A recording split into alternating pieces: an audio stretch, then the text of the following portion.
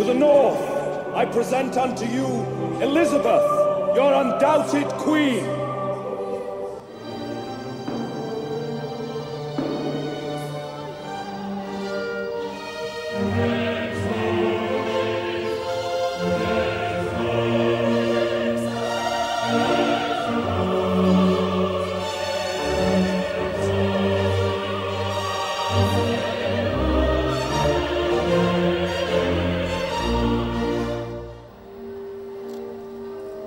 Observe, Lord Burleigh.